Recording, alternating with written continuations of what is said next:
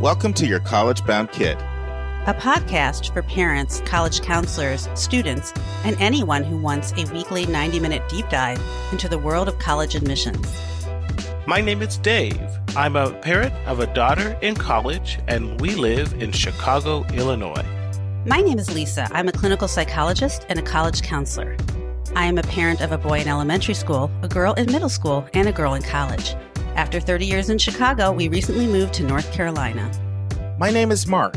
I'm a college coach in Atlanta and the parent of two daughters. Karis, a graduate of Davidson College, and she is the founder of the Spanish tutoring company, SpanishHelpToday.com.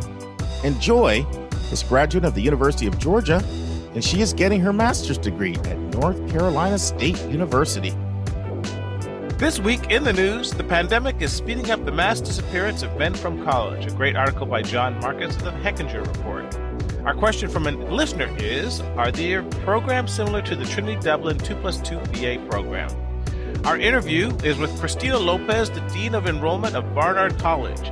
Should you discuss your mental health challenges in your admission application? And our college spotlight is discussing what is the Trinity College Dublin and Columbia University dual BA program. Yeah, and and I am so excited about our college spotlight. So please listen to that. It's going to be a first time we've actually done this. The question from a listener was a college spotlight question, so we turned that into our college spotlight. So Lisa and I will do that. I think you're going to really like it, and then we're going to have a part two next week. So please stay tuned for that. But for now, I'm diving right into admissions tip and uh, the admissions tip this time is if you go to the Common App, commonapp.org, enter any college into your college dashboard and click it, the first thing you'll come to is the college details page. And when you scroll down to the middle of a college details page, it'll say recommendations. And it will tell you how many are required and how many are optional, both for teacher recommendations and for other recommendations, required and other. And that should be your roadmap as to the maximum number of recommendations that you send to each school. So if you want to know what's the maximum number of, of teacher recs to send to a school, it's right there for you. Now, don't use the optional because it'll say required one, optional one, required one, optional two.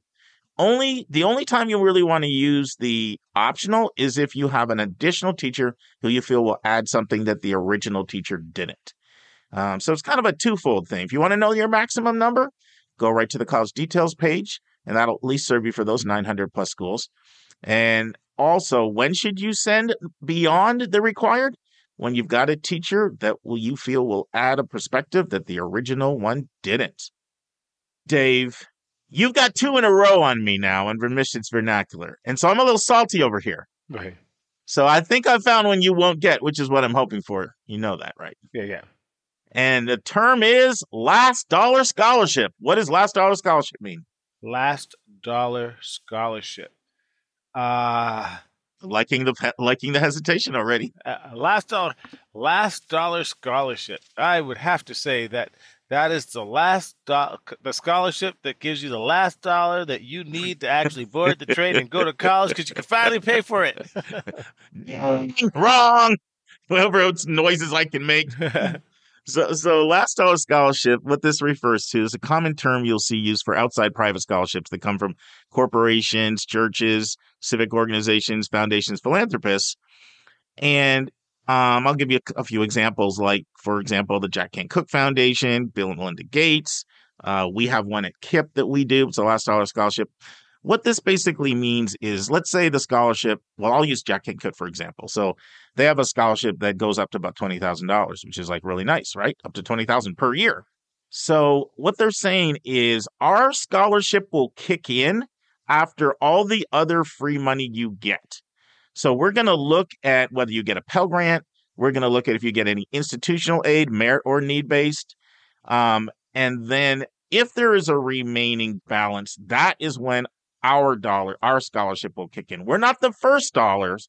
We'll supplement your existing scholarships that you already have. Does that make sense? It does. It does. I got you. See, I knew I could get you on that one. I now know, we've got a losing streak going, and I'll see if I can make it two in a row next week because I'm just a sadist over here, as you can tell. All right, Lisa, I've moved to the back of the classroom again. okay, friends, I have I have picked um, a big number. I had one all ready to go. And then as I was immersed in the article, Dave and I are about to discuss and doing some additional research along that topic, I decided to go with one that is in concert or along the same theme as our article. So the big number is 2.2 million. Any guesses what that is, Dave? 2.2 million. Uh, no, I Because it didn't come from an article. It came from me reading other similar articles I could find all over the web on the same topic. Uh, I, I can't guess. That's too, too, I have no idea. 2.2 million is how many more women are in college right now than men. Oh, that makes sense. Okay. That makes 2.2 million. And with that, that's a great segue for you to transition to our article. Let's turn to college hot topics in the news.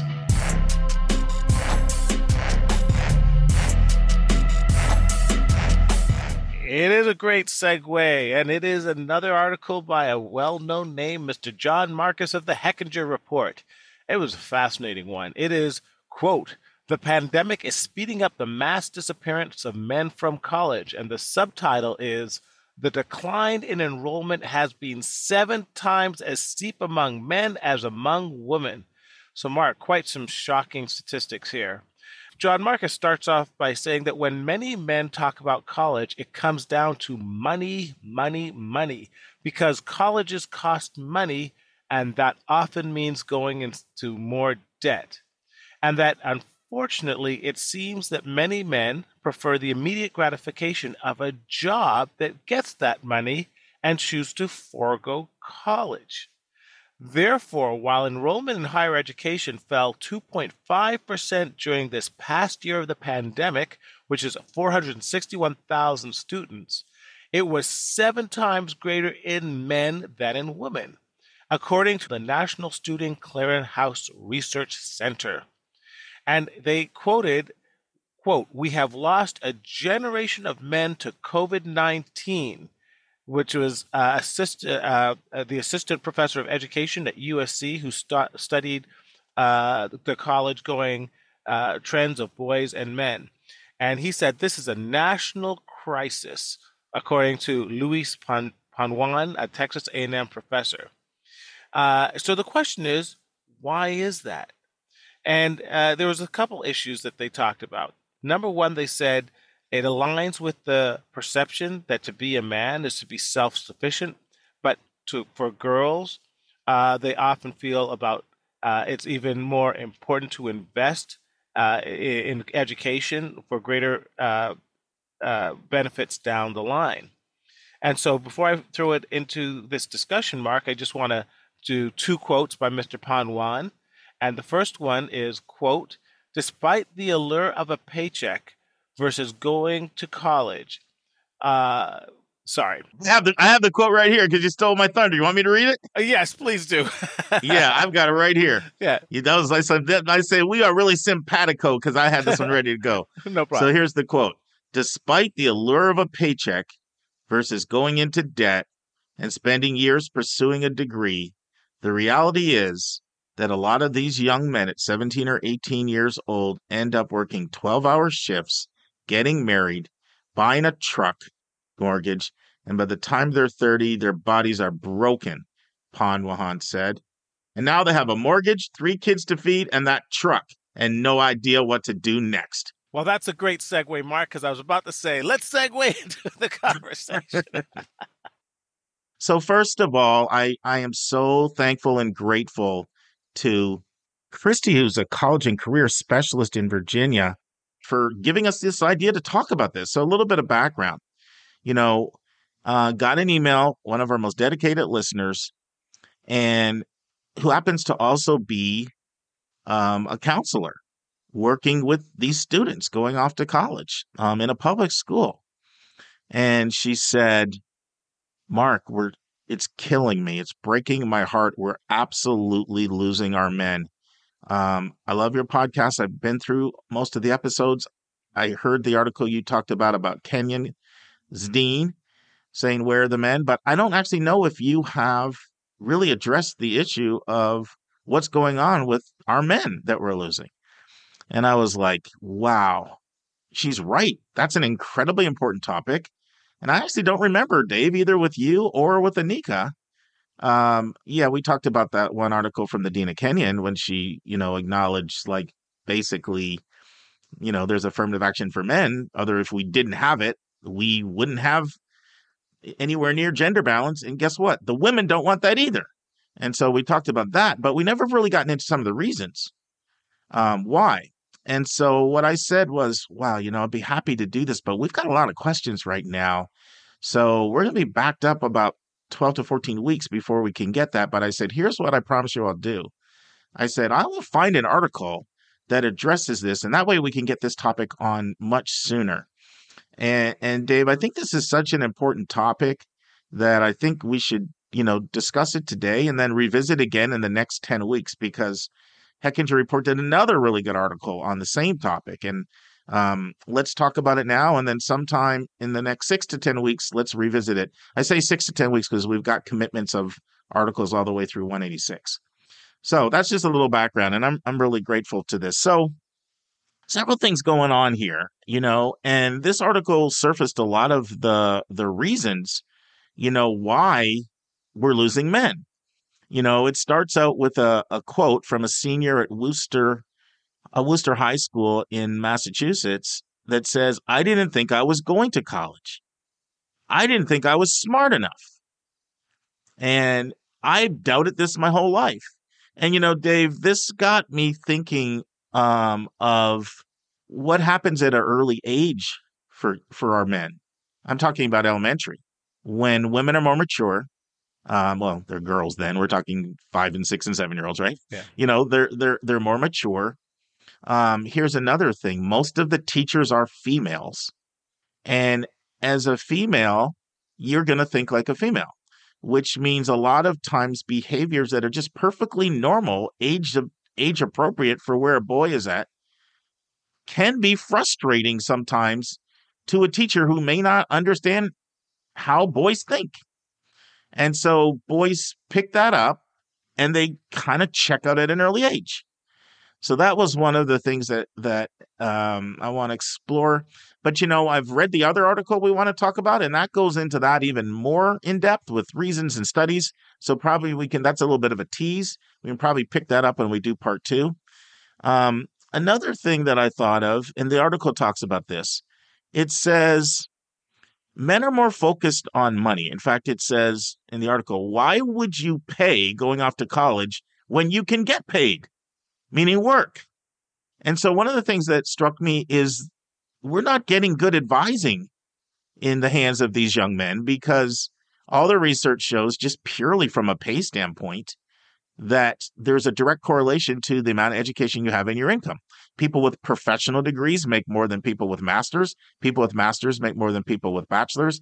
People with bachelors make more than people with associates. And people with associates make more than high school grads. And high school grads make more than high school dropouts. It's a complete, consistent correlation. Now, that doesn't mean, you know, you can't push back on me and say, well, I know someone who's working in a daycare with a college degree and they're making $25,000. Yeah, there's always exceptions. But in the aggregate, all the research shows there's a direct correlation between amount of education and income.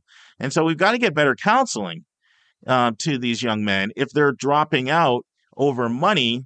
Because, yeah, sure, maybe you can make $15 an hour at 18, but, and that might seem really great. You can get that truck, you know, you can impress your girlfriend, whatever. But at age 30, when you're making 19, that's not so great.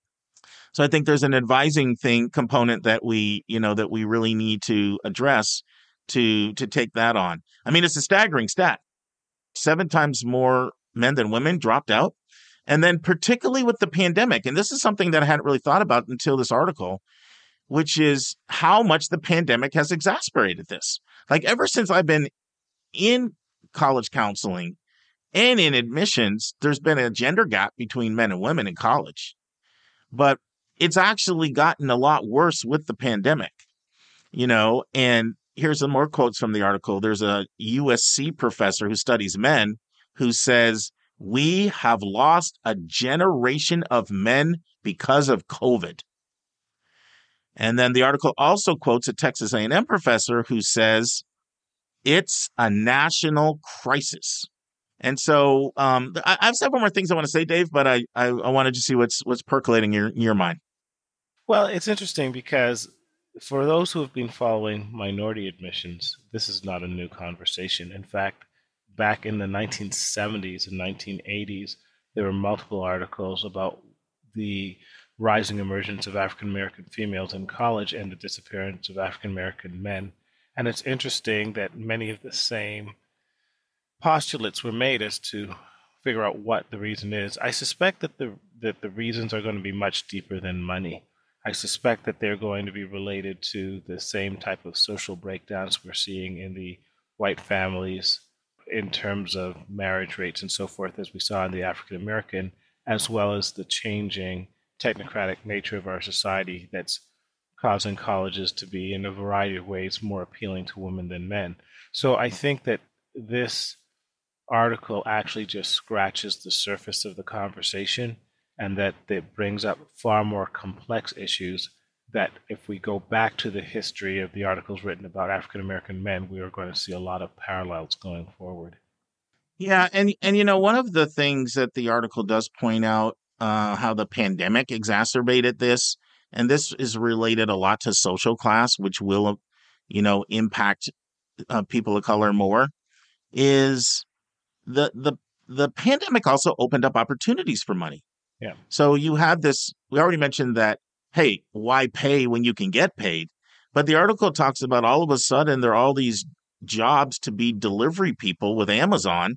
My niece uh, worked for Amazon in Whole Food stores, stocking orders, and it was like fifteen an hour plus overtime. She'd get time and a half, and so so it kind of you know you have the little bit of the allure of wow I can turn around and maybe make fifteen or twenty dollars an hour. That's really good money. You're gonna say something, Dave?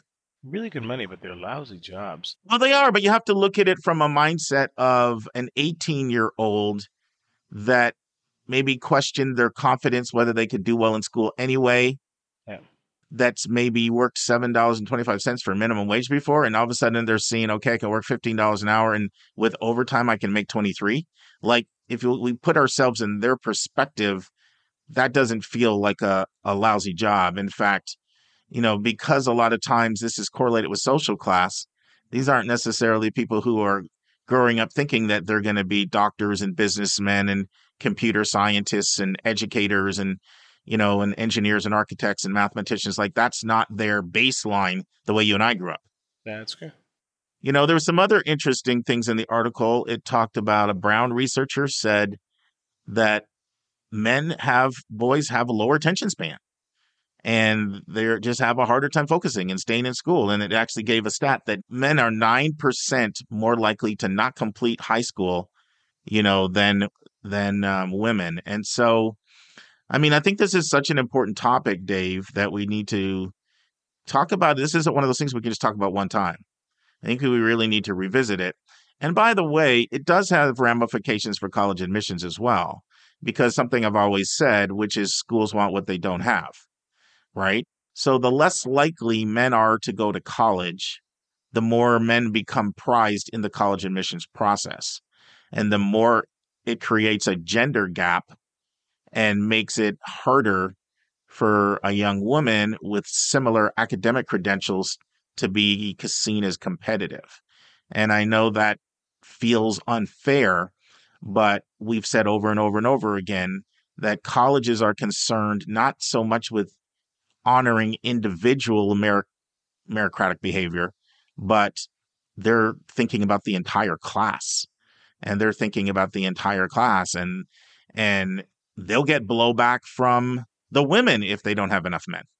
And I think the national statistics are now at this point 60% of the college enrollees are women, only 40% are men, and made the point of saying that uh, several decades ago that was reversed. It was 40 60 women, men. And, you know, the social significance of that is if you're at a function, if every guy pairs up with every woman, half the women don't have uh, the person of the opposite sex uh, to pair up with in terms of social function. So it does create a social imbalance that goes far beyond just the academic realm. Uh, so it's a very serious thing, and when you, you look at the the makeup of a college campus. Yeah, and and and it, and it also becomes a serious thing because if it can if the trend line continues to exacerbate, Yeah. you know, literally the professor at USC is going to be proven to be right. I'll, I'll read his quote again. We lost a generation of men because of COVID. And the thing about this professor is he he's an expert in studying why men drop out. And so this is not just like, you know, some art history professor like popping off with his opinion on something. Like this is his area of concentration and focus and his scholarly research. And so, you know, boy, I hate to be so dour, Dave. I feel like this is not a pick me up article, but, uh, you know, we got to keep it real. In market, to be honest with you, it's a teaser article. There's a saying that statistics are like a bikini. I haven't heard that one. Where are you going with this, man? oh, Every time, oh. first time bikinis come up on our podcast, where are you going? what they reveal is interesting, but what they conceal is absolutely vital. so, Oh, that's a good one. That was a good line. I might have to use that one. I was like, oh, oh Dave, where are you going? bikini You're out on an island, man. I can't help you. but the bottom line is a teaser article. The, the fact is, I, I don't believe the real reasons are just money. I believe it's multifactorial. I believe it has to do with the uh, challenges the family is having right now, the technocratic change in our society, and many of the jobs that are available in college aren't as as appealing to men.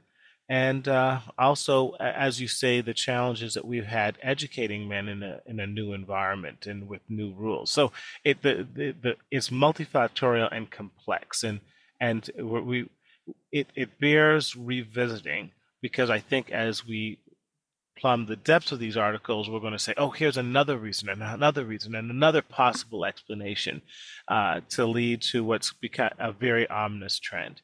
So I, I just want to say that this is not the end of the story. Money is a factor, but it's much deeper than this. No, no, no. And I, but I mean, I didn't see the article as only saying money. I thought it hit a lot of different points. But your point is well taken because when I read the other article we're going to discuss in the next 10 weeks, it did bring in some additional factors. Right. But a couple other things the article said is that it says men are raised where the mindset is to be self sufficient. Yeah. And so the idea of um, having a job where you can be independent versus going in debt and paying somebody can be appealing. And then another thing it said in the article, and I thought this was a good point, you know, particularly for under resourced families. It talked about how during COVID, a lot of times the the male and the female as well, but you know, the the the male student took on a job literally to help the family with their financial needs. Yeah. And it was very difficult for some of these men to walk away from that. They literally felt like I'd be walking away from my family obligation. You know, it reminds me how like sometimes Dave, an entire family might work in the restaurant to make the restaurant, you know, work. And I, I never had thought about that before. You know, like what if you you're literally wondering if you're going to eat? I mean, we saw how long those lines were at those food pantries. So the 16 to 18 year old takes on a job to help the family out, and then they say, "I can't walk away from my single mom now. She needs me." So while I, you know, I certainly agree, it's it's a lot more than only money. Um, I think the article really did a really good job, especially for more under resourced families, Yeah. bringing up some of the struggles that they face. But it's a teaser, Dave. So we'll revisit it again in uh, six to ten weeks. Yes, it is to be expanded upon in the future. It's time for a question from one of our listeners.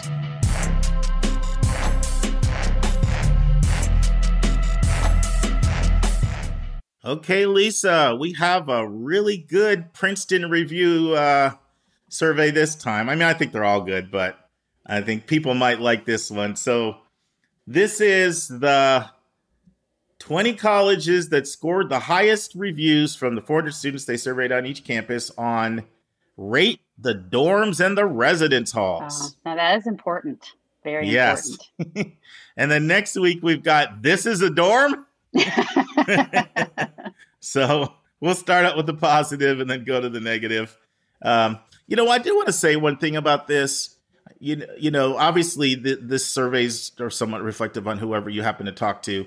The way I, I would encourage people to to process this is, I wouldn't encourage you to say, "Oh my goodness, I'm really interested in a school and then it never made the list, so I'm kind of dinging it a little bit in my mind." I wouldn't encourage you to look at it that way. However, I would say that if it gets listed, it's probably pretty good.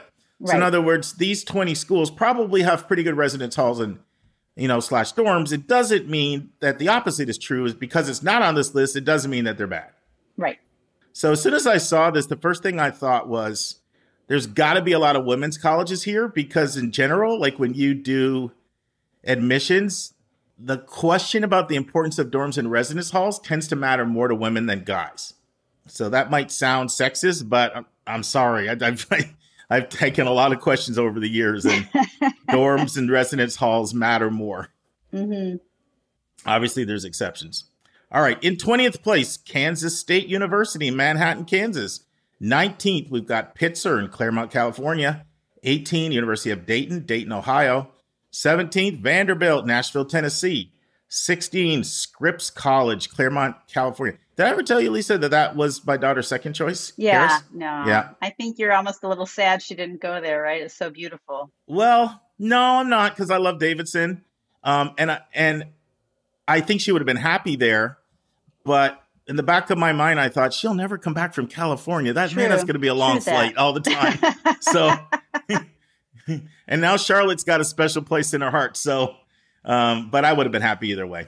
Number number fifteen, Williams College, Williams Williamstown, Massachusetts.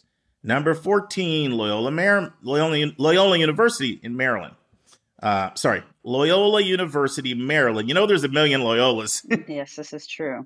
I had a session with a client earlier today, and I literally gave him all four of the Loyolas on- for his list. He like wants Jesuit schools. He's at a Jesuit school, so he got Loyola Chicago, Loyola Mar, Loyola Maryland, Loyola New Orleans, and Loyola Marymount. All four Loyolas.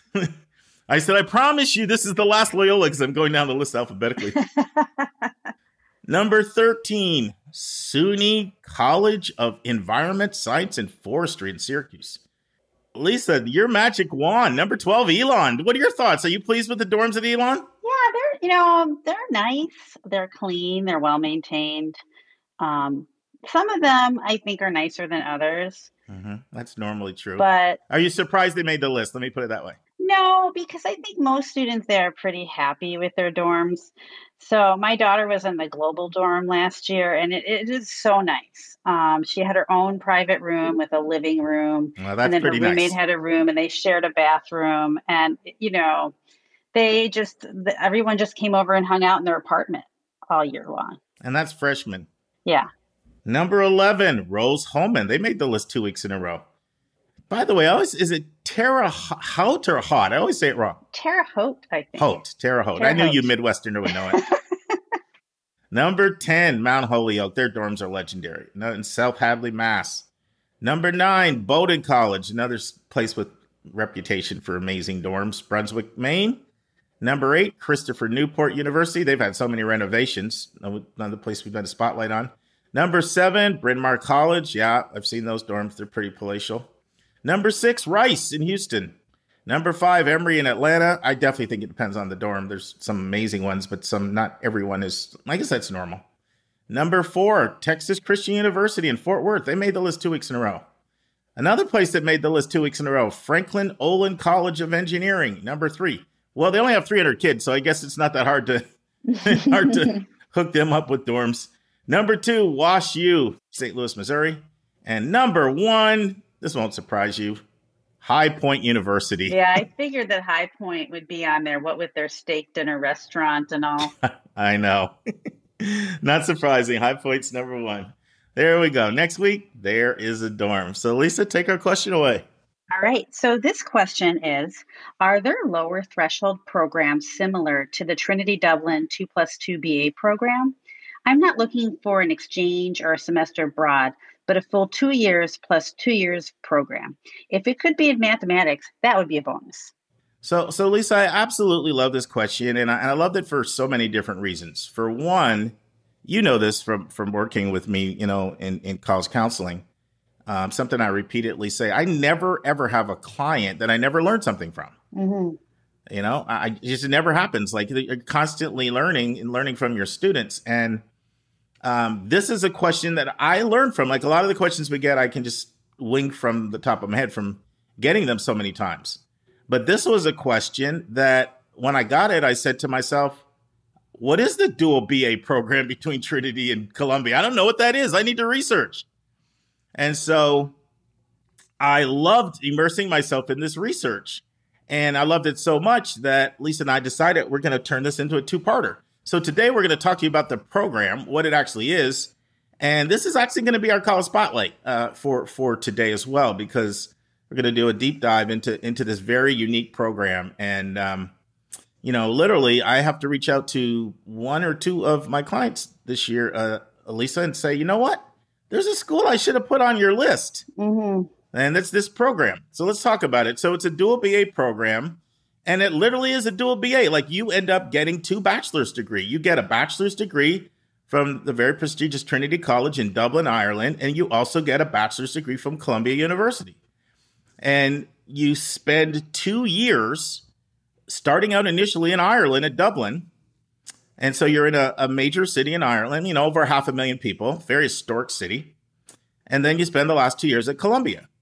And so you get to be on two different continents, you get to be in two cosmopolitan cities, you get to have this international experience. And it's really designed for students that really want to have a global outlook on life that goes beyond study abroad. Like, you know, Karis had an incredible six month study abroad experience.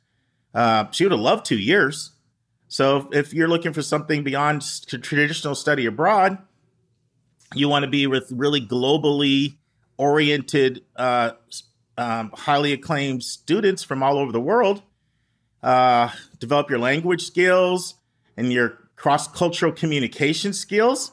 Um, this this can be an incredible program, and so you you know you're you're full time at Columbia and you're enrolled in the School of General Studies, uh, the College of Undergraduate it's, um, Education, and so you do have to fulfill all the requirements for each institution. So, like, you do not get out of Columbia's core; you still have to do that, and you still have to take the additional courses that are part of the Dublin program. And this is a small program, and so the cohorts tend to be in the 40s or the 50s. And one reason why I hadn't heard of this program is it just started. It's it started in November of 2017. So it's just 3 years old. So it's a really new, it's a really new program. And it's it's kind of exciting. And so like I said, if you want to stretch yourself, then this can be it. Now, when you go to Trinity, I will point out one thing that some people might find is a weakness of the program. They do have limited major offerings. And so you're applying to one of around nine or 10 different majors. And that's really it. Whereas, you know, in, in Columbia's giving you over 80 options when you go there. So the options are classics, which is ancient history and archaeology, um, English studies, European studies, film, history, history of art and architecture, uh, Middle Eastern and European languages and culture, geoscience, and neuroscience. And each one of these programs, very similar to when we talked about applying to international schools, international colleges, you're applying really into that particular major and you have explicit expectations for that major. So let's give an example. Like if if you decide that you're interested in the classics, you're going to apply to be a classics major, then they do have a requirement that you have to come in either knowing Greek or Latin or another language beyond English to the AP or equivalent level. And each of the programs has like their own, like film has specific requirements, history of the art and architecture has specific requirements, geoscience all have specific, very specific uh, requirements. Now, the good news is when you switch over to Columbia, all these different majors open up and you do don't have to stick to the same major. So you literally can do a major for two, you know, your first two years, and then go to Columbia, and you can switch majors and go to uh, a different major, you know, when you when you get to Columbia. And so I'm going to talk uh, about the uh, admission process um, and the selectivity, uh, but I want to just stop and see what see what your thoughts are so far, Lisa. I think it's a really interesting idea, and I heard of this type of program more and more. So um, I know two kids who have done different programs like this at Columbia. One went to the Jewish Theological Seminary in New York, and the other one went to France to Sciences Po. I hope I'm saying that right, to study political science there, and then he'll finish up at Columbia. And I think they're really an intriguing idea of, you know, kind of getting the best of both worlds in a lot of ways. I suppose it's not for everyone, but I think if you're an independent student and you're okay starting abroad for the first two years, it could be a really fascinating and interesting journey. I mean, I look at Karis now. In addition to six six months in Peru and Bolivia and Chile, which she did it, it during her fall of her uh, summer and fall of her junior year, Davidson. She's also been to Honduras five years in a row and and to uh, Kenya two years in a row. So she's had significant abroad experiences, but she she constantly draws off of that. Like you just be in a conversation with her and she'll be that is so American and something that I might just think is normal. And like she just has that cross cultural perspective of how distinctive, distinctively American it is versus other countries. Absolutely. And I just, when you've had an opportunity to have a program like this, it is going to shape your worldview for the rest of your life. Right. And you really get immersed in that culture, I think, in two years' time uh, you really develop a much deeper understanding than you would even three months or six months out. But you, you, you know, Karis is absolutely right. Like, there's nothing like going abroad to realize how much of an American you are and how peculiarly we do certain things that we just take as normal, and the rest of the world doesn't. And I think that's one of the most fascinating things about travel. You know, one example, you know, Karis is always sort of she's kind of down on America for the longest time. And then when she was when she was in Peru, there's just a different sort of ethos when it comes to service, like in a restaurant. Mm-hmm. Like we we have this culture where it's an expectation that the the server gets back to you quickly. They're polite. They're manly. Over there, it's just not that way. And she got to the point where she's like, I don't know if I could deal with this. Like, give me some America. so mm-hmm. it can make you appreciate some things too. Absolutely. Now, one thing that I love about the program is I love that they keep it small that's going to produce such a bond. Like, imagine the friendships um, that come out of that. Imagining the deepening understanding of other cultures, not just because you're in Ireland, but because of you're in proximity, you know, with so many different people from so many different countries. Mm-hmm. And I think that's part of the richness to me of this program is not just being immersed in another country in a, in a world class city, but just the the community the community component of it. Mm-hmm. So let's talk a little bit about their admission process. So it is a holistic evaluation. This is not admissions by the numbers. I know we've talked a lot about international schools and how they don't evaluate um, applications usually the same way that American selective schools do. Um, and it's very much a numbers driven process. That is not how this program works.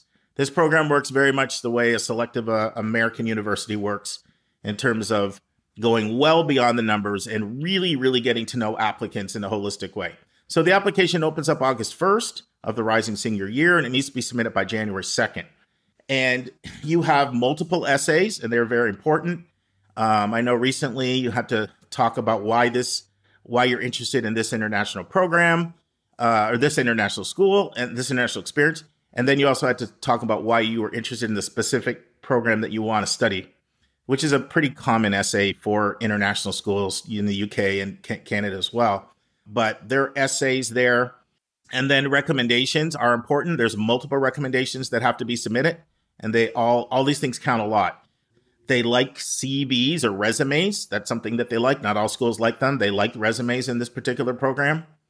And standardized testing is something that um, is important. It, does factor in a fair amount into who is admitted and who's not. Now, because of the pandemic, they have waived and they, they've gone test optional for basically the current seniors, right? The class of 2022. So they've said they're going test optional for one year, uh, you know, uh, but it's very clear that it's the only reason they're, they're not, the only reason they're test optional is because of the pandemic.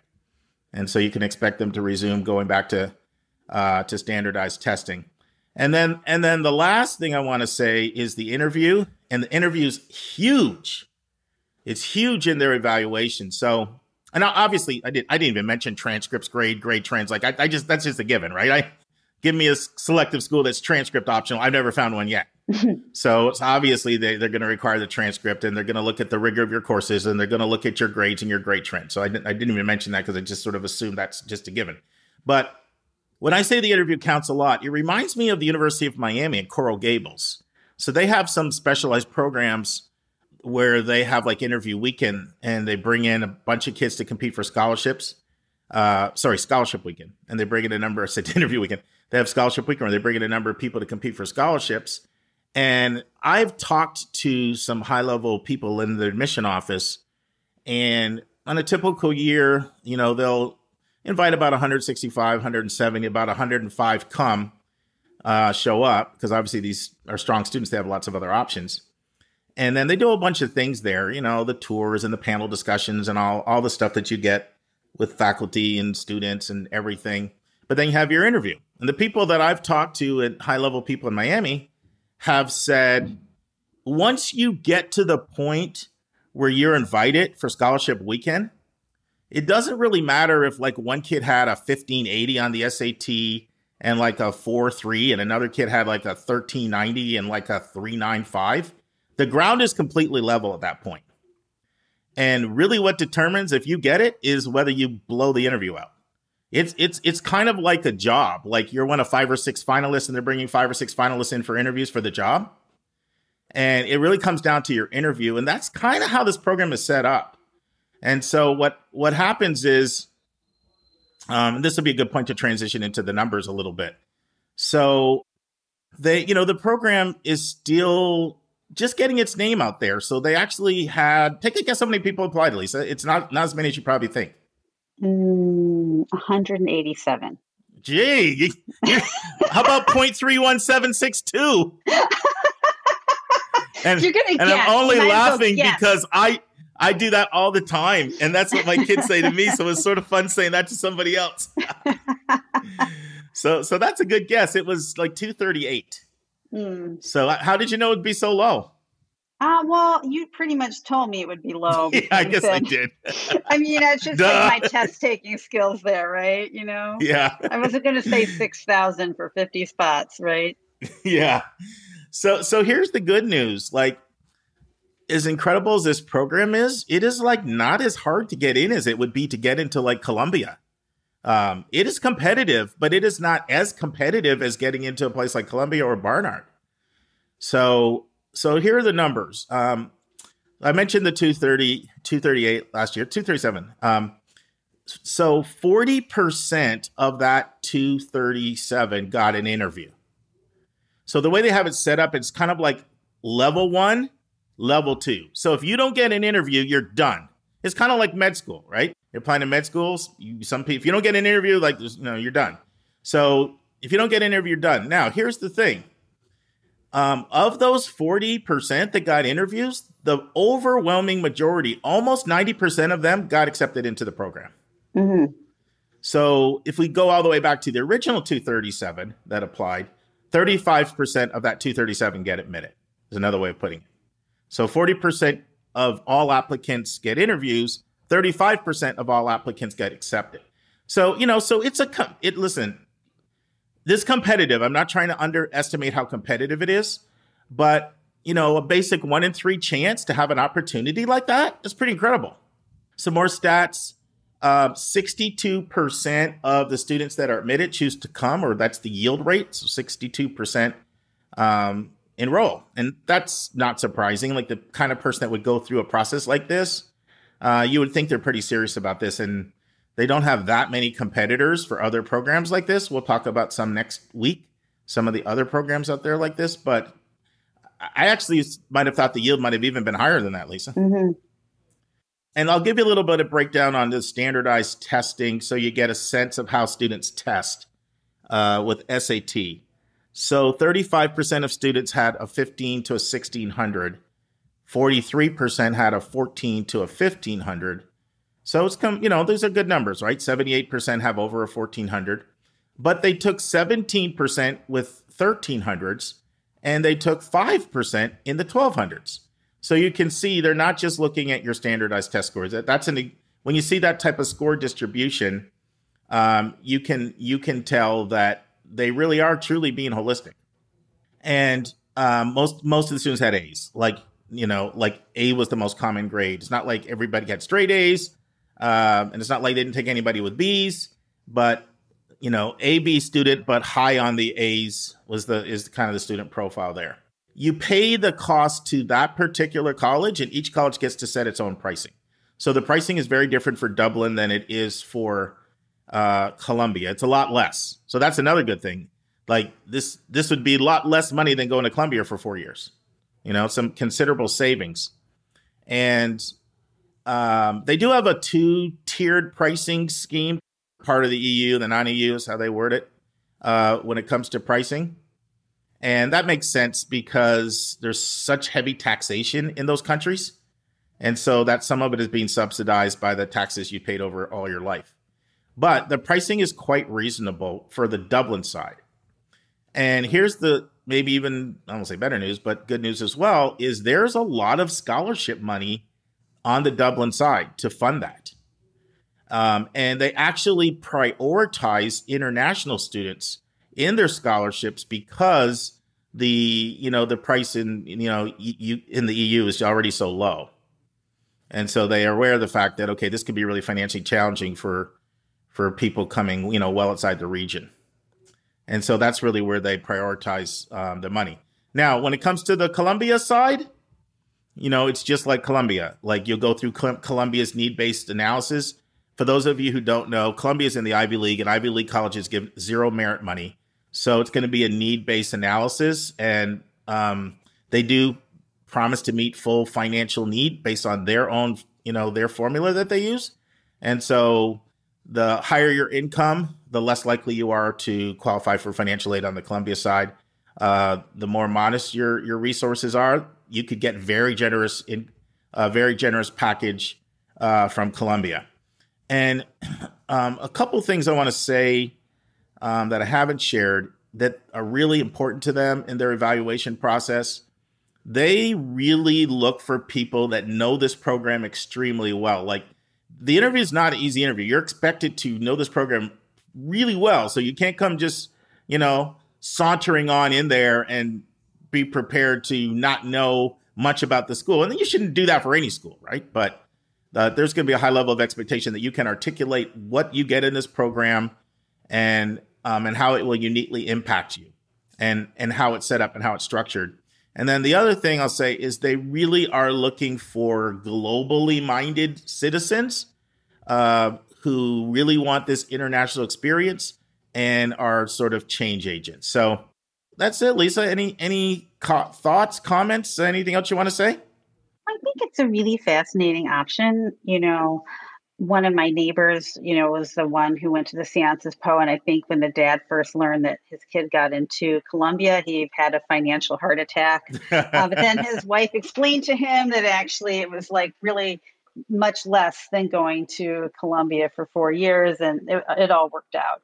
So I know that the student that I know, I mean, his first year in France, I mean, this is this kid's a genius. I mean, he is like off the hook but he had a hard time, you know, like just adjusting culturally, um, the language and, you know, um, you know, the classes being in a different structure. But I think the second year has gone much better for him, you know, and I suppose that is pretty normal for all of us who immerse ourselves in a different culture. You're going to have that initial period of disorganization.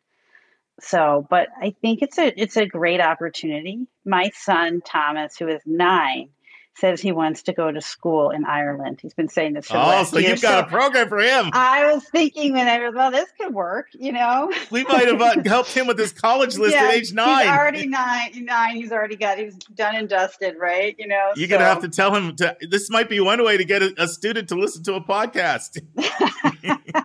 Either that, or mom just has to break it down and they give the three minute version. That's right. Well, you know, I want to comment on something you just said. So, and I was actually talking to a student from New Jersey earlier today about this same thing. You know, and and we got the point we've got an initial list for him of like actually initially list of 25 schools to look at and he's doing his research and he'll pare it down and and I was telling him I said, "You know, I don't just want you to look at a place that you think you're going to have a good time. I don't just want you to look at a place where you think you're going to be happy. That's important. I'm not trying to send you off to some place for misery, right? Like, sure, that's part of it. Of course, you you should look at a place where you will can be a home away from home, and a place where you think you'll have a good experience, and a place you can be happy. But it's not just about happiness. This is about being prepared for life. So this is a, this is a place I want you to also think what place might stretch me and prepare me so it can be like a trampoline so I can soar and reach my full potential. And I just thought about that when you commented on the first year being hard. And I also thought about last week how we talked about, you know, you you shared the story about your horseback riding and how you had a lot of failures and how those turned out to be blessings and that, that whole thing. And those what you were describing was growth pains there, but it was growth. Exactly. Sure there were some pains, but growth comes before the pains. Yes. And so that's not a difficult like yeah, like I think most of us throws in another country for 2 years is not always going to be easy. hmm But that's where a lot of the growth is. Absolutely. Well, and I think that, you know, that kind of growth, it's life changing for a lot of kids. And, you know, part of the benefit you get is from experiencing that initial discomfort, that cognitive dissonance of being in this situation where it doesn't quite make sense to you or it's not the way it's always been done. Um, but I think that to really have to live in a global world, you need to know that a lot of this stuff is cultural, it's arbitrary, and that that really sets a person up for success later in life. Awesome. Well, thank you, uh, Lisa. Maybe we'll have some more international profiles we'll do. You know, I will say this, and, and Lisa knows this. Uh, partnered with somebody recently, um, and you'll be you'll be meeting meeting him. His name is Kevin, and he's a great guy, and he's got a lot of expertise on colleges around the world because that's all that he does. And my focus is really more U.S. colleges and Canada to a lesser extent. And so I've sort of partnered with him in what Lisa and I do at School Match for You, a lot to share with our listeners.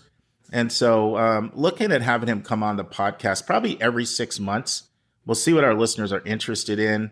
Does he like we could, he could do something on summer programs abroad, or he could focus on different regions of the country. I'm sorry, of the world.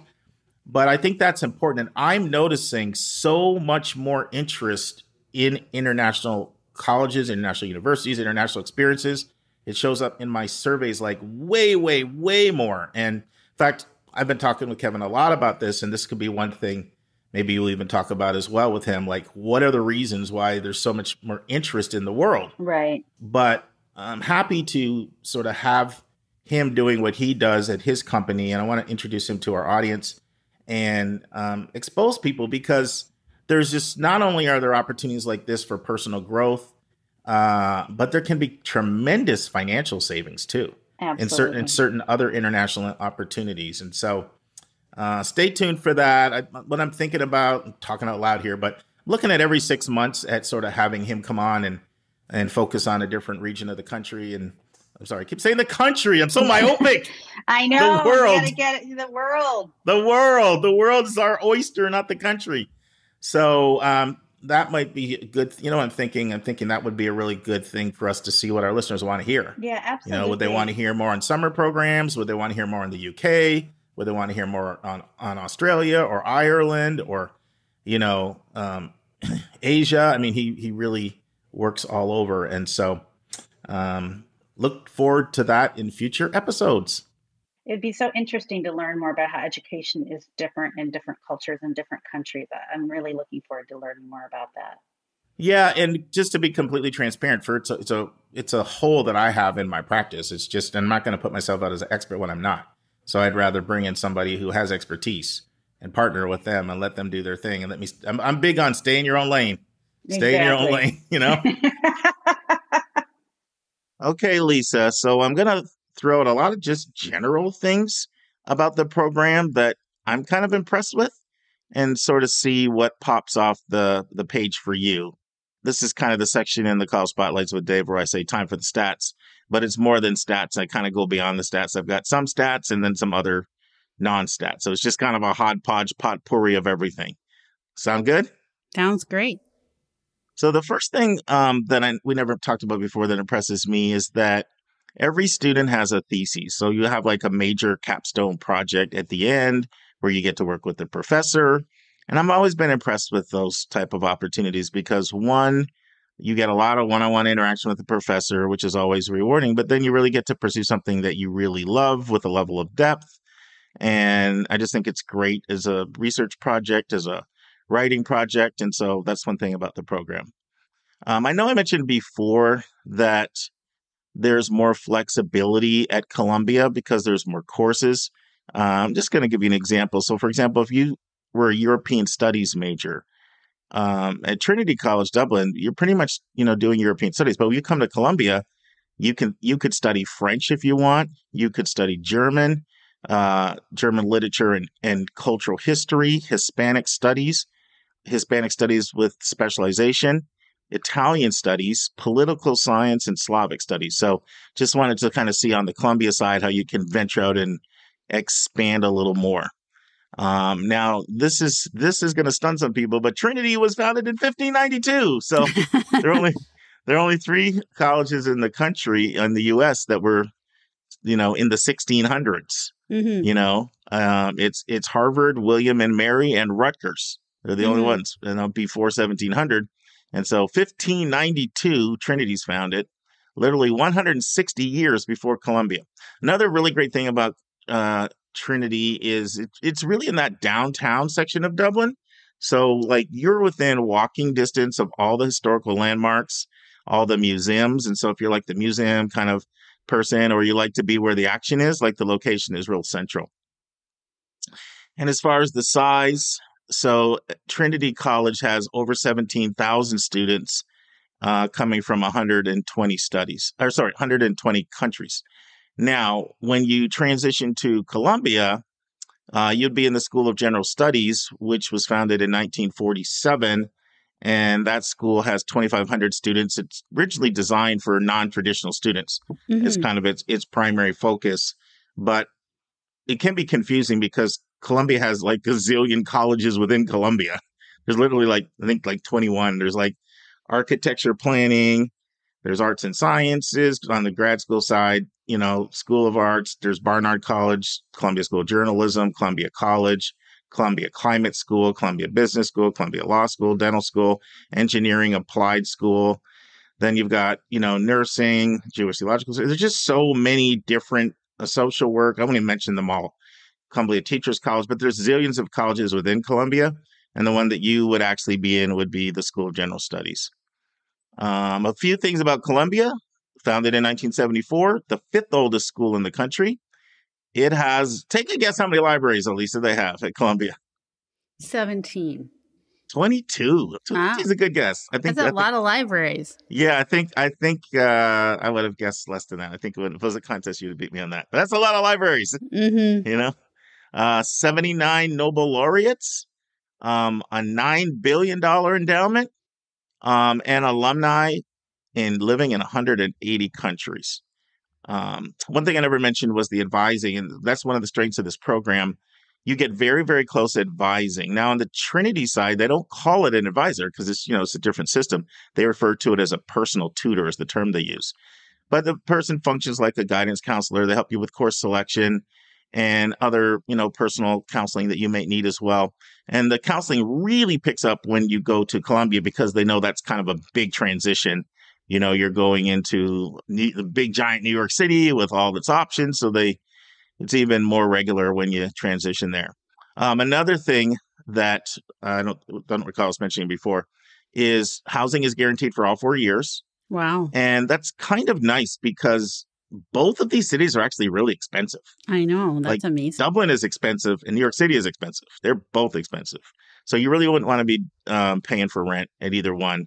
Now, on the Columbia side, it's more, it's like apartment style too, which is kind of nice. You know, people like apartment style living, but it's still part of the, uh, it's not like apartments living in New York. It's like part of the Columbia, you know, system. And one thing people should be aware of, and I don't know if people will think this is a negative or a positive, both my daughters actually really like this a lot.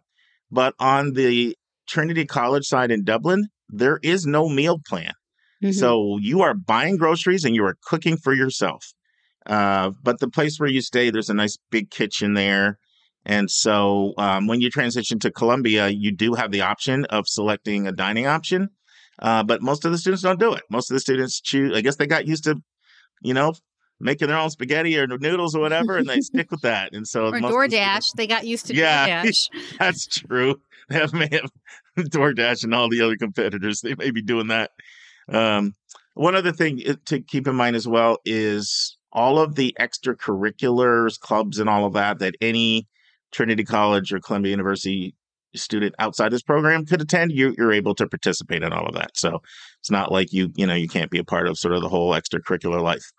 And for the statistical breakdown of who actually attends this program, 25% of the students are US citizens, 43.8% are dual citizens, 29.6% international residents coming from 18 countries, and the 25 US 25% of US students come from 10 states.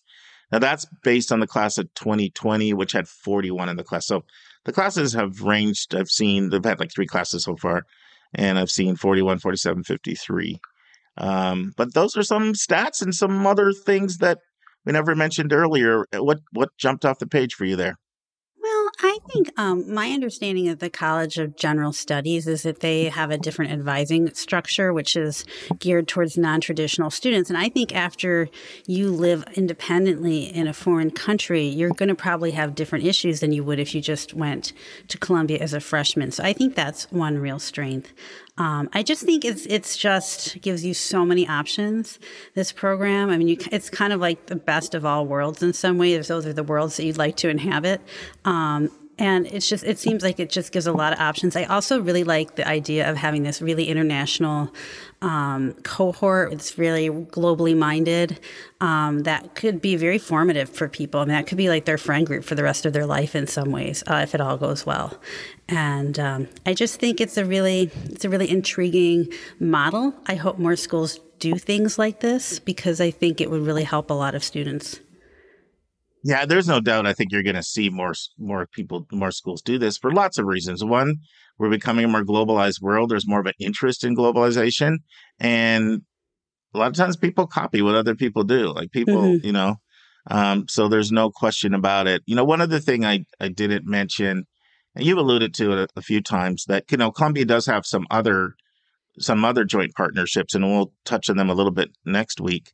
But one of the things that the program does a really good job at is uh, networking the students when they return from Ireland into the other students in the other mm-hmm. two programs, you know, that Columbia offers. And so it sort of expands your cohort of people that have had similar type of international experiences. So maybe you really you might like your group of 40 but maybe you're ready to move into a, a you know a group several times larger mm-hmm. and meet new mm-hmm. people mm-hmm. But still people that have had sort of that international experience rather than um, you know a, a, another non-traditional student you know or another columbia student. And you know that's considered you know one of the strengths of the programs as well that you get to sort of keep that cohort but then also sort of expand into into you know this larger network. You know, one other thing that I want to mention when I look at this program, and this has to do more of a sort of a tip for admissions, uh, they, they're looking for people for that have a passion for global a global education. And when I look at the fact that you know such a sizable number of students that they admit are dual citizens, and when I look at the fact that they uh, really emphasize global awareness, international perspective. I think it's in order to be really competitive or certainly for, for you to stand out, I think you're going to need to sort of show that you've got a track record of that in your life. Right. I think if you just say, I, oh, I think it's kind of neat, it's intriguing to me to live somewhere else. I mean, I'm not in the admissions committee and I just recently learned about the program. I've been trying to do a deep dive on it since I learned about it. But when I look at this and just sort of knowing how admissions works, um, I see them wanting to see that track record. Mm-hmm. And so, what does that mean? Well, you know, most of the other rest of the world studies more than one language. So, I think being multilingual would be good. Um, it would be help. It would be helpful if maybe you've traveled. Um, I know that introduces a class advantage, but I think it's just the reality. If you've been able to travel, um, I see that being being an advantage if you've been able to have certain kinds of international experiences or maybe maybe it was just something really creative that you did in high school maybe you took you know because someone could be listening to this and say well i can't learn another language now and i'm interested in this and we don't really have the funds to do some big international trip maybe you take like some coursera courses or edX or something you know and on different parts of the world Mm-hmm. Like those kinds of things are things I see the admissions committee looking for. And you're going to need to prove that you are, you know, we always talk about intellectual curiosity and how important it is. You're going to need to prove that you have intellectual curiosity for a global education. Mm-hmm. And in my opinion, beyond just saying, that sounds kind of neat, I'd like to try it. Does that right. make sense? Well, and I think, you know, you kind of maybe they want to see that the person would function well in that environment because not everyone would do that well in that environment internationally. And then you've got a kid who's overseas, who's depressed or, or whatever. So I think, you know, the program isn't for everybody, right? I mean, you're going to not have right. the traditional college experience. Yeah. Um, so you kind of self selecting there. But if you're the kind of person who's confident, who wants to see the world, you know, is interested in that, then I think that's something that they would value in their admissions process. I'm really glad you brought that up. In, in some ways, it reminds me of co-op. You know, because when I talk about co-op, especially a place like Northeastern or Drexel, where you're living right in the city, it requires an extra level of maturity, right? To mm-hmm. to maybe go live in Los Angeles or maybe in London or someplace for six months and to find your own way around, navigating yourself through the interview process, and it requires an extra degree of maturity to really do it well. And there's no question to me that's something that you're going to look for. I mean, me just looking at this program, if I'm in admissions, I'm going to be looking for maturity and mm-hmm. in, and and independence, and just the fact that you're cooking on your own, like that might be minor, right? Uh, and adaptability too. So even little things like, you know, you've put yourself in new environments through sleepaway experiences and different things like that, where people can see that you have proven that you can adjust to new inform- environments mm-hmm. um, because admissions is about risk and reward. And so when you're evaluating an applicant, you're looking at what are the risk factors, you know, and one of the biggest risk fa- factors for something somebody like this is will somebody be able to adjust to a completely new culture, mm-hmm. you know, and this is such a small program. This isn't the kind of program where they want to have like 10% of the people or 15 or whatever attrition, attriting, you know, um, and nor do, nor do they want 10 to 15% malcontents because okay, I'm not going to quit, but this sucks, and I'll just stick it up. I'll you know suck it up, but I hate it. So you know, I, if I'm in admissions here, I'm going to have my antenna up for indication someone's got maturity, mm-hmm. uh, adaptability, um, especially in international context. Um, in general, colleges look for people that are vent- adventuresome. That's always something that's really, you know, one of those underrated character traits to look for. But here, I'm really going to look for that. I'm look for I'm gonna look for adventuresomeness. I'm gonna look for um, international intellectual curiosity. You know, another these another kind of thing that a student could do without spending a lot of money is be really involved in things like Model UN. Mm-hmm. Like any of those kinds of things right. that show intellectual curiosity for the world and a track record of it, um, I believe are going to make you stand out. And I can see that being the student, you know, that they take over someone that you know has a more polished statistical resume from things like, you know, maybe straight A's and perfect scores. So let's put a bow on it, as I say with Dave, Lisa. Um, but we will be back next week to talk about some some other programs that offer a combination of a U.S. and uh, international experience beyond just traditional study abroad. Oh, great! I can't wait to learn more. I really, really want to thank Rob from Texas for sending in such a great question. Uh, I didn't acknowledge him earlier, but he really deserves a shout out, and we'll take up part two next week. And now, this week's interview with a special guest.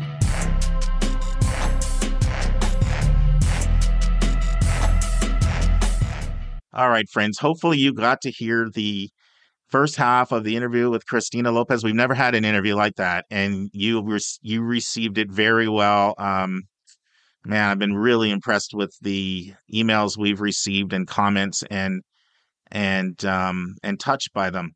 So so if you missed that part one, you really need to go back and hear that to set the context for part two, because in part two, Christina transitions, and this time she focuses on the student and whether they should share a mental health struggle. or whether it will sabotage their admission chances. Then she talks about how the essay differs from what a student would actually say to their therapist, and students need to be aware of that. She talks about how the resources to support mental health can vary drastically from one school to another. She reflects on the admission profession and she gives her grade on how well the admission profession is doing when it comes to understanding student mental health. And then Christina also talks about how they, as an admission office, discern whether or not someone is admissible or whether their mental health challenges are just too significant and too severe. And she makes it really clear that a lot of students focus too much on their struggles in their essay. And she talks about what she looks for when she reads a college admission essay. I think it's a, an absolutely fantastic interview, and I hope you guys enjoy it. So, so that's also a great segue because just like you, there was some fear, trepidation, angst with you divulging the staff, divulging, divulging to your your boss, all of that. That's the same way students feel. Yes. And um, oftentimes, what they'll hear from admissions professionals is be authentic with us with your challenges. We've all had problems. We don't expect you to be perfect. Feel free to trust us with your challenges. And if you've made progress, share that, you know, and and just keep it real with us. But that's frightening because when you apply, you are trying to get in. I know and, and there's a fear in the back of your mind that I'm introducing a risk factor that can hurt my chances in the same way that you had those same thoughts when you divulged it to your boss. Mm-hmm, mm-hmm. And so the the million dollar question is, um, how is a student to know when they should share something, and when they shouldn't share it because it's just going to sabotage them? When from an admission standpoint, because this isn't a, a therapist question, right? With a Correct. therapist, you would Right. say bring it all out. Right. But people don't want to do things if they feel they're going to go straight to, to the denial pile. And and and I think I think we all have to admit that there there are things that people could share that could make them less likely to be admitted. I know when I did boarding school admissions, you know, one of the things that anytime anybody actually had seen a psychologist in the last year or year, year or two, we required a report from that oh, psychologist. Oh wow. Yeah, we had to have legal stuff, check it all over, and it was a complete write up. And partly we wanted to know how we could support you, but partly we wanted to know are are your struggles more than we can handle, and are we introducing someone into the community? Maybe for a couple examples of things we were really concerned about were um, severe anorexia and severe cutting issues, because in a residential community that can just you don't want that kind of thing spreading. So there were times when we would say you know what? I think the problems are too serious for us to be able to handle. And so people have that fear that it's going to sabotage them. So what just what are your thoughts? Because you've been so open here but i think you're not naive uh, about how a kid thinks and how an admission office might respond if they don't have the support or the sensitivity. So just i want to hear you talk. You know, it's it's a little bit of considering the space and also considering your own journey, right? Like my generally when I talk about writing about things that are difficult, whether that is writing about mental health, maybe it's uh, a past trauma incident, perhaps even you know something that w- has been extremely painful. Maybe it was the death of a parent or whatever that may be Mhm. You know you're writing from you know that there's a source of, of pain right um, that that you're talking about. And you know I, the first thing i always say is like where are you in that journey right? And is this something that you feel you want to share? Because quite honestly the, the answer is you don't have to. There's Right. nothing that says that you have to discuss all of these difficulties that are happening in your life. It is where you are on that journey. And so sometimes I say it's a little bit of the ashes and the phoenix, right? Are you still so in this that you're still dealing with this painful issue? You're still working through it and that you're still in the ashes of it, right? Mhm. And you're unable to be to step back and be reflective of it because essentially if you're writing an essay you're writing a reflective essay and if you're not able to kind of get to that point you're still in it right versus the phoenix rising from the ashes. It's a sense of I, I know where I've been, but I know where I am now. I'm I'm growing. I'm thriving. I'm overcoming this. Um, I'm able to have thoughtful reflections of where I am now and where I was then. I'm able to express a sense of gratitude not only for the situation, but where I am. There's a healing that's happening. You can see the complexities, but the growth that has come from it. You know, there there's that sense of of rising above it. And so, like, you have to kind of ask yourself, where are you on that journey, um, and the perspective that you're able to take from writing it. You know, I think there's always a sense of integrity that you keep for yourself. Like your essay is not meant to be a diary entry, right? Like you're not writing to your therapist. This is a group of strangers mm-hmm. at a conference table talking about whether or not you should have admittance to uh, be admitted to a college right and so there is there is that sense of perspective and so you are opening up your life to them but I always say, like, don't feel like you need to open up your whole life and share everything just so they can be connected to you. And, and like, you don't want to be admitted because of that. That's right? really like, important. That's not, Glad you said that. Yeah. right. like, that's not why we're taking you. Um, and so, like, having that sense of integrity that th- there are pieces of your story that are only for you. Mm-hmm. You're like, you don't need to share all of those details you know, ugly, gory, what have you, in order to make them notice you. That's not what this is about. Um, and so it's being able to write from that reflective place you know and, and understanding that you know regardless of whether or not you choose to write about it or divulge it you know if you if you do gain admitted and there is um, maybe you are in a treatment program um, you know whether that is for an eating disorder or anxiety or what have you a before you apply research what the resources are and their counseling center their mental health resources is do you feel that this institution has the resources to support you knowing your own journey uh-huh. and then once you're admitted to you know and you've decided to enroll there reach out and be able to say like hey i'm i'm enrolling. What are the steps to make sure you know my medication transfers that i can be set up with a a therapist? Whether that is there at your counseling center or maybe i need more outpatient you know can i be connected to one in in the area? Um, being able to start up that plan for yourself once you're there. But you know there's the choice of whether or not you choose to talk about it is truly up to you. Um, and if it is something that you choose to do, just being able to think about it from a perspective of, am I am I far enough away from where I can reflect on it and talk about it how it has, I've grown from it, even if you're still something that's going to be ongoing, you know. So I, I, I think it's it just depends on where you are let's take a break to learn about Mark's recommended resource for the week.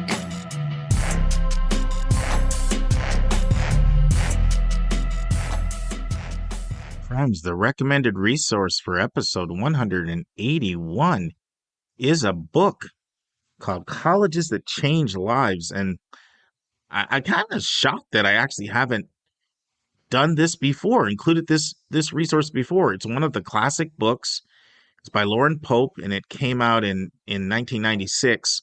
And Pope had formerly worked in education for the New York Times and became an independent ed- educational consultant. And what he did is just featured these book or these colleges that were small and where a tremendous amount of transformational growth occurred in the lives of students. And these are all colleges that for the most part, either B students or BC students, or in some cases CB students, um, can get admitted at. And over the time, the list has grown a little bit, and it just became a movement. And so now there's actually a website I'd also like to share, CTCL, which stands for Colleges That Change Lives, ctcl.org, uh, where you can get, learn all kinds of different things about these these several dozen colleges. And when I was in Pennsylvania doing college counseling in the boarding school, we would routinely take our students to the colleges that change lives college fair. So these schools travel as a group. But if you want to, if you're somebody who is looking for small school with a lot of personal individual attention and schools where uh, students experience a lot of personal transformational growth and you're okay with schools that the average person on the street will not have heard of that school at all if you're wearing the t-shirt um, but they can show the student outcomes are there. Both job placement as well as personal satisfaction with their experience. Then this is a book you want to look at. The book is colleges that change lives by loren pope and also check out the website ctcl.org now return to my interview christina lopez. Where do you feel the profession is uh, admissions at at being able to receive people's struggles and not deep six them, especially in a competitive pool? Like, is that something that you feel there's a lot of room for growth um, in the profession? Yeah. Yeah. I do. I do think that there are, especially at least within our admissions office, and I think maybe it's because working at a women's college, mm-hmm. lots of students who have you know that sense of competitiveness that drive that ambition it sometimes can manifest itself into perfectionism that can be unhealthy and uh, in the struggles you know the mental health struggles that students come in with and, and what we deal with in our counseling center. We talk about that a lot you know and just in in thinking about you know that we are honoring the stories that they choose to share with us mm-hmm. that we are looking at it in a place of can we support this student? Um, and where are they in their journey and sometimes quite honestly we don't make that call because we're not professionals. And so there are many times if we feel that we're uncertain um, we might send that file over to our director at the counseling center who can give us a professional opinion who can sometimes may say like no the way that they're writing about it, it shows that this is you know they're in progress and they're healing from it and i think they're in a good place or what have you versus maybe not. You know we do take into account the fact that you know students who have whether or not we feel the student is at a point where they can advocate for themselves and create their own systems of support away from their family, right? I think that's a big, big thing. Mm, I'm glad you said that. Yeah, that that sense of of independence and self advocacy to be able to move to a completely different environment and and create that system of support um, is very key acknowledging and accepting where they are in their journey. Um, you know, that this sense of this isn't something that's just happening to me or blaming the world or all of those sorts of things, but like this is a part of who I am. This is something that I'll always have. And these are the ways that I've built that support. And this is how I, I cope with this.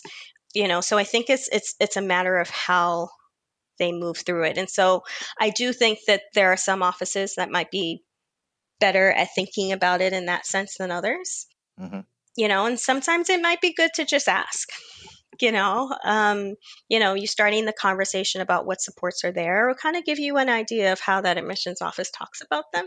Mm-hmm. Mm-hmm. um, will give you a sense of of how they how they read. But I do think in terms of the profession um, as a whole, we this is definitely something that we are going to have to start to grapple with as more students come in um, with these struggles. And and certainly i don't think that it's ever going to be the thing that's like no but um, there's always it's a holistic review and there are always other pieces but at the same time thinking about how do how do we evaluate this in a way that is honors where the student is, but also um, helps us to think about the the institution and whether or not we have what is needed to support these students. So, several takeaways I picked up from what you said. One of them is this is not something a student has to talk about. So, someone shouldn't necessarily feel compelled. This is not your therapist, and you shouldn't feel like you need to connect the dots to every aspect of your life. Like the admission office isn't owed that. Correct. Another point is uh, where you are in your journey may may be something you may want to think about as you even factor that at all. Like, are you in an emerging place where you can talk about some growth um, versus you're still completely stuck in the struggle? Um, another point that you you brought out is um, are you at a place where you're able to self advocate apart from your parents? That's one thing that we may be looking at as we evaluate. And then you also are really transparent about the fact that listen, I'm not pretending that anybody can say anything and it may not have admissions ramifications like it can. You know, yes. if you, yes. you you share about your whatever your attempts at suicide or how you want to kill your family. I'm just making you know using this as an example, but there's things that you can share that could be problematic, and I don't want to be naive and make you think that uh, I don't want to pretend that that could not be a factor. So I, I, have one last question, and then this has been fantastic. Um, so one thing I know a lot of admission officers share, and I I would say I agree with this as someone who was on the mission side and now I'm on the placement side. There are a lot of students they look at the prompts and the the essay prompts, particularly Common App, and a lot of them sort of lead you in the direction of thinking that you need some type of dramatic story, and and a lot of students have a tendency to write in a way that they talk about some of their shortcomings or failures or struggles and this this goes beyond mental health mm-hmm, okay mm-hmm, just mm-hmm. and then they they get stuck in that i call it i call it getting stuck in the struggle mm. and i've heard other admissions counselors say don't feel like we need some big dramatic story something got out there some somewhere that you have to have this story of all these problems you've had and in your life and what you've done about it and and i feel like there are a lot of essays that are that way that not only feel as if they need to have this dramatic story but people get stuck in the struggle yeah. without without the breakthrough when maybe they might have been better off just talking about what they love or some other passion they have and letting that be a dominant impression that's left with the readers um, versus feeling compelled to have to share some big struggle and uh, that they oftentimes still seem like they're stuck in it. Would you say that's something that you experience as a reader a, a fair amount? 100%. I always tell students you are more than the sum of your struggles. Mm-hmm. you know, and and yeah. the admissions essay is not necessarily about trying to garner favor because of the difficulties that you've had in your life or to receive some sort of uh, pity for things that you've had to endure. Like, that's not what this is about at all. Mm-hmm. And I do think that there are some in the profession that encourage people to talk about their struggles um, you know especially and, and and especially more so towards marginalized identities, um, you know, low income, first mm-hmm, general mm-hmm. you know, and quite honestly, a lot of those are traumas that are very triggering to now have to write about so that you can go to college. That feels wrong.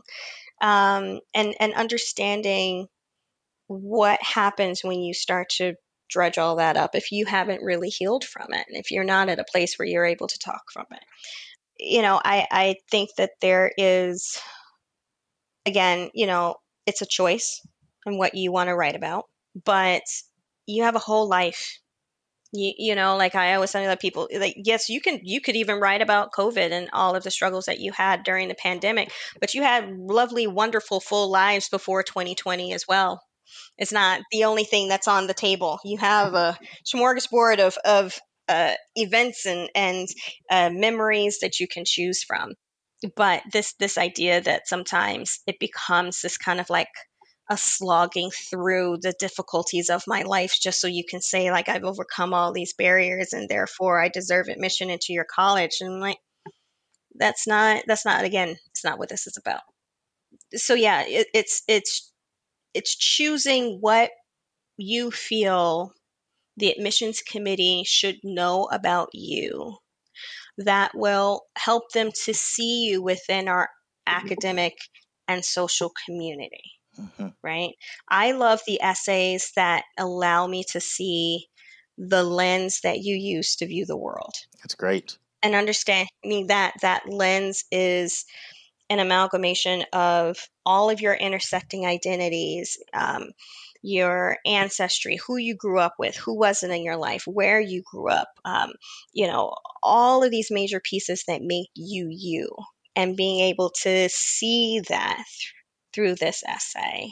And then also getting a sense of how your gears move, how you think, um, how you process information, because that allows me to see how you will, what kind of role you're going to play in, in an academic classroom you know, especially at a place like Barnard where our classes are so small, right? And so it's really getting a sense of who you are. And if that struggle that you're talking about really helps as a vehicle for that, then that's one thing. But I'm sure that there are many other ways that you can illuminate that to the admissions committee as well. So I want to close with that because it was so good. Can you just repeat it one more time, though, just in case anybody missed it about the at least the part about the lens part? I thought that was fantastic. Show me the lens that you use to view the world. That is, in essence, the the beauty of who you are from all the sum of all of the pieces that made you you, um, and allows me to see that inner you and what you are bringing to this community, um, and not just about the things that you've had to overcome and struggle with, but who you are and how you think and how you see the world. Christina, that's a drop the mic. We got to end right there. That was really good. But the great news is you'll be back next week to talk about Barnard College. I'm so excited. Thank absolutely, you. Absolutely. Absolutely. Thanks for having me. Oh, my pleasure. Next week in the news, colleges face reckoning at, as plummeting birth rates worsen enrollment declines. A great article by Jon Marcus of the Hechinger Report. Our question from a listener is What are additional programs similar to the Trinity Dublin 2 plus 2 BA program? Our interview is with Christina Lopez on Understanding Barnard. That is part one of two. And our college spotlight will be a discussion on Understanding Barnard. Yeah, friends. You know, normally we put college spotlights up all on one episode, but Christina and I, we just got to talking because what we actually do in that interview is we take nine questions that you sent in, all from our listeners. I shut my mouth on this one. Um, Christina opens with her fantastic overview of Barnard. And then we had four questions from students, we had three questions from college counselors, and we had two questions from from parents, and I just asked the questions and let you be the interviewer in, in effect. And um, Christina ended up the whole time ended up we almost we ended up going almost an hour. So for the first time ever, we're gonna split a college spotlight up into two weeks. So you'll get part one on Barnard, and then on episode 183 will be the last part. Dave, what you got going this week, man? I know you got a new property, bunch of new properties. Keeping you busy? I have been rehabbing uh, three flat that we just purchased, and uh, it's been yes, uh, quite a quite a adventure. A nice thing about when you purchase a property, it always gives you a lot of surprises. so, so, I've literally been getting my hands dirty doing some construction and rehab and some plumbing work, but that's fun. How long before you own all of Hyde Park, man? That's my question. Oh no, not not. It just keep, keeps me off the street. You're being humble and modest. keeps me off the street. Don't be surprised if one of these days you hear Dave say, "Guess what? I'm not going to be a doc anymore. I'm going to be a doc like four or five days a, a month because I'm I'm I'm all in on the real estate." That's right. Yeah, God is good. So, how about you, my friend? Uh, oh, I did want to give a shout out. Uh, we talked about it the first African American female to win the Scripps spelling bee. She is only in grade eight. She's going to grade nine, and she apparently has two Guinness World Records in dribbling. So I've instructed her to Mark to sign her up for Princeton right away. Leaving your Princeton fixation. No, what's going on with me is I've just rediscovered my treadmill and I'm all into it again. So I'm loving I, I was on it at 5 a.m. this morning. So the only thing is, I, I went out on the deck, Dave. You know, you've hung out with me on the deck. Yeah. I went out on the deck. Yeah. And I locked myself out there, which meant I had to call Anitra and say, can you let me in and wake her up in her sleep? So I think I'm in the doghouse for a while. yeah, yeah, you better put that treadmill treadmill on ice for a while.